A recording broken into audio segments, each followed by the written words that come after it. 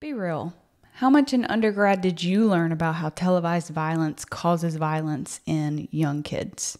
You didn't learn anything about it? Me neither. And I got a bachelor's in psychology that I'm very proud of. Here it is. But how much did you learn about Kohlberg's moral development, Piaget's, and the James Lange theory of emotion?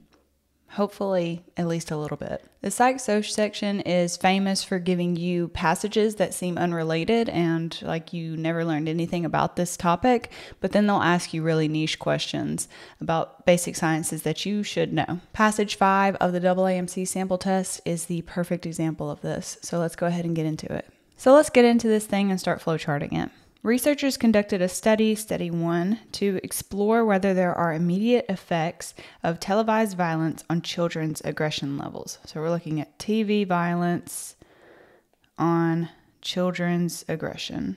I like to write down my variables in PsychSoc because a lot of those research methods and hypothesis kind of questions will pop up boys and girls from two different age groups, ages five to six years and eight to nine years. That's probably foreshadowing. Um, if you're not familiar with what that is, definitely go check out our video on it. Um, but it's when we kind of predict what questions they're going to ask based on things that they've given in the passage. And that looks kind of sus. You know, anything in parentheses is often foreshadowing. Okay, um, different age groups were randomly assigned to the experimental group or the control group. The experimental group watched a six minute video of violent television scenes containing an action sequence that showed a chase, two fistfights, two shootings, and a knifing. Uh, the scenes were selected from nationally televised programs. The control group spent six minutes working on a coloring book. Okay, so we got our groups. We got the group who's watching a knifing, and then the ones who are coloring. We also have five to six and eight to nine year olds. So the groups kind of look like this. Afterwards, the experimenters told the participants that they would be part of a game that another child was playing in a different room. By pushing different buttons, each participant could either help or hurt the other child. Uh, the researchers counted the number of times each participant chose to help or hurt the child. The results are shown in Figure 1. So let's do a little bit of figure interpretation. Uh, figure 1 always start out with the caption uh, average number of hurt button hits by condition, and then we kind of got our groups up here in the key.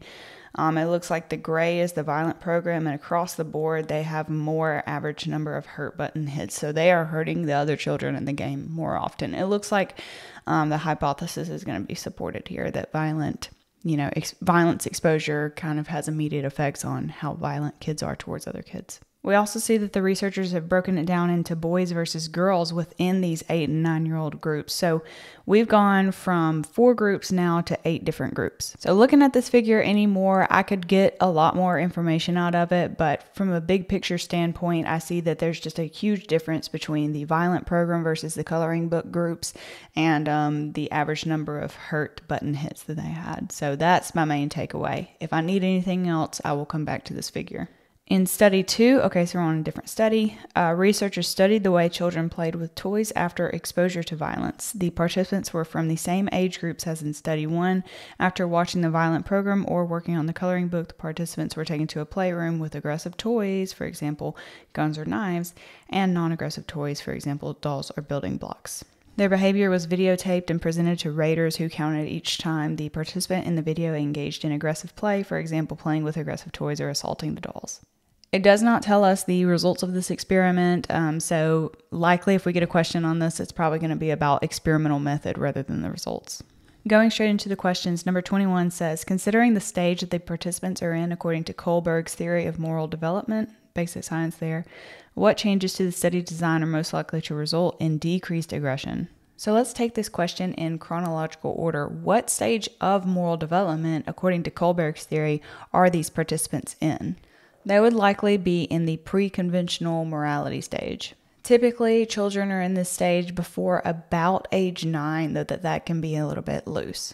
What characterizes this stage of morality is that children are basically just following rules to avoid punishment. Um, it's all in their own self interest. They don't really care about the greater good or anything yet. All they care about is kind of avoiding punishment or getting some kind of reward. So now the second part of the question is saying, okay, then if these kids are in pre conventional morality stage, what do we need to do to decrease aggression? I would think if we want these kids to be more moral and decrease aggression, that's kind of like the same thing in this question stem, then we would need to show them that their behaviors, if they are aggressive, are going to have a punishment. Either that or show some reward for displaying altruistic behaviors or whatever you want to say. Let's go to the answer choices. A says lengthening the videos the participants viewed to one hour with a 10 minute play break in between each six minute segment. Ooh, that would take forever to get through that video. I think this is pretty unrelated to morality as a whole. Um, it doesn't really provide any overt reward or punishment for behavior. I don't like it.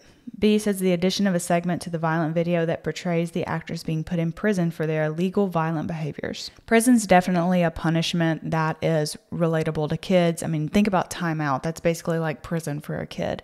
And so that that would probably be helpful in providing some sort of punishment um, outcome for these kids. I like it. It goes along with the stage of morality that they're in, in that it provides a strict punishment for a behavior, and therefore they're going to not be as aggressive so that they don't have uh, that punishment bestowed upon them. C says the addition of a segment to the violent video that portrays the negative impact of violence on the victims. So the stage of morality that these kids are in is pre-conventional, and in in the pre-conventional stage, um, again, it's all about self-interest. It's all about avoiding punishment or getting some sort of reward. And so you don't care about the victims when you're six years old. All you care about is what's going to happen to yourself. So this would probably be referencing conventional or post-conventional uh, stages of morality. D, having the participants work on an interactive task with other children before and after watching the video. Again, not related to morality. B is our best answer here. 22 says which change to the design of study 1 would test the hypothesis that frustration causes aggression. I notice a strong word here that we don't see very often in psychosocial, and that's cause. And so we got to have some pretty strong um, experimental design here.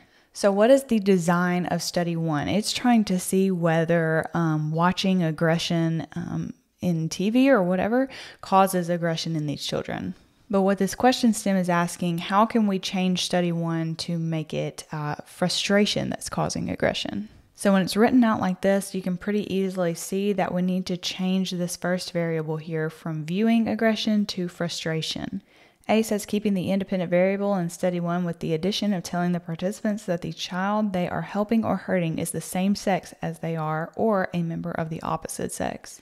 So what is the independent variable in study 1? It is whether or not actually there were there were quite a few like groups, but it was whether or not they viewed aggression or if they spent that same time uh, drawing in a coloring book.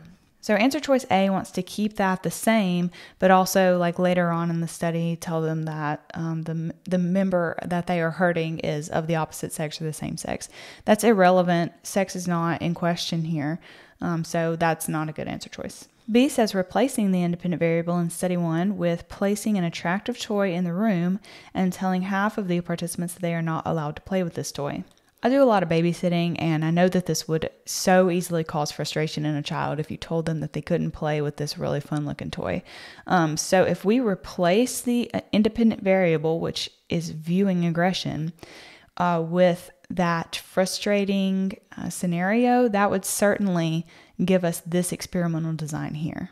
I like that answer choice. C says using the same experimental method, but also assessing the participant's frustration level before and after they are given the opportunity to help or hurt the other child. So I think this would almost be opposite. This would be testing whether or not viewing aggression caused frustration. That would be like if you measured frustration levels before they started hurting the child or helping the child.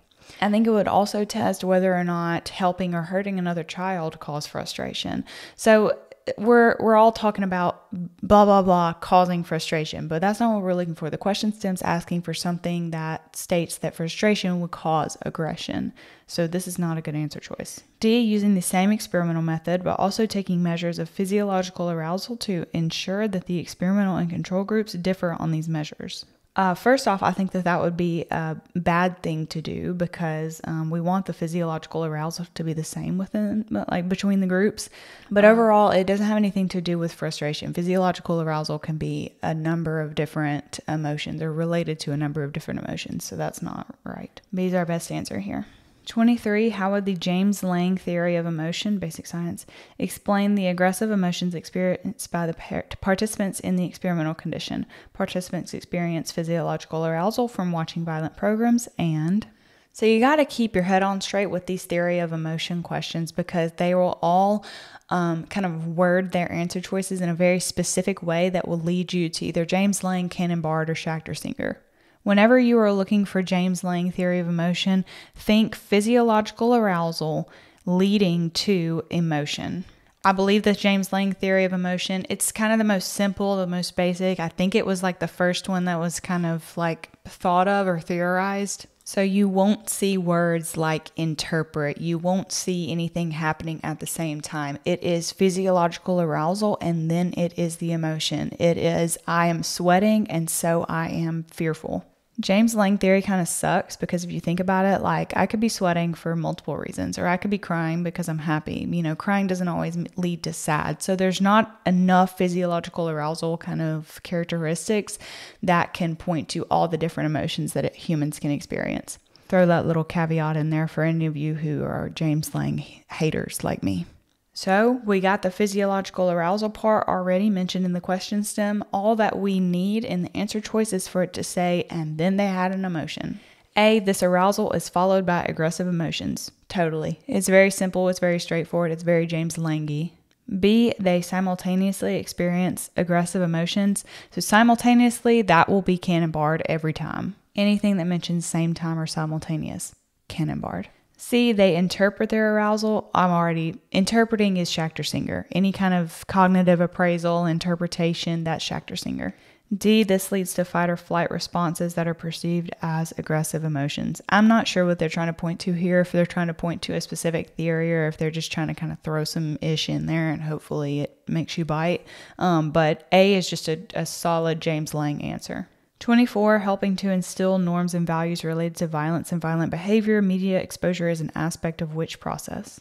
You can simplify this down to what process helps instill norms and values. Socialization. If you don't know what any of these other words mean, I would definitely recommend that you learn them, but none of them have to do with instilling norms and values. 25. The two age groups that participated in study one are most likely to perform differently in which task developed by Piaget. King Piaget, he's so commonly tested on the psych section. If you're not familiar with his um, theory of cognitive development, definitely be really familiar with it because you'll get questions like this all the time and they're easy money if you know. So there's two different age groups. The question tells us that. And we know that there are 5 to 6 and then 8 to 9. So this question simplified down is what's the difference uh, according to Piaget between these age groups? Breaking down Piaget's stages, we know that 0 to 2 is our sensorimotor. 3 to 7 is our pre operational. 8 to 11 is concrete operational. And 12 plus is formal operational. So the 5 to 6 year olds are going to be in the pre op stage, and the 8 to 9 year olds are going to be in the concrete op stage. So now this question is what's the difference between pre operational and concrete operational? Another thing that you should know related to Piaget's is not just the stages um, and their age ranges and their names, but also some milestones that the kids hit um, according to Piaget before they move into a different uh, stage.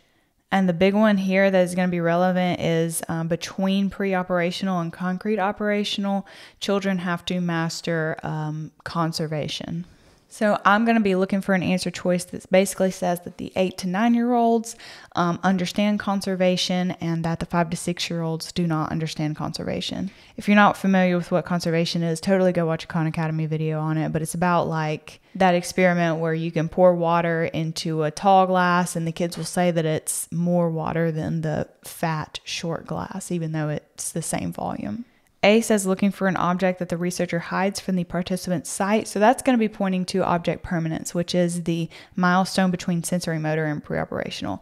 All these kids should be able to know that an object hidden from one's sight still exists.